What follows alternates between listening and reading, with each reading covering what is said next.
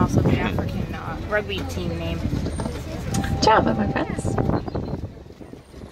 These hmm. guys are teenagers. They're about two years old each. Hmm? Yeah. Let's go up to this hill though. We'll get a little better view.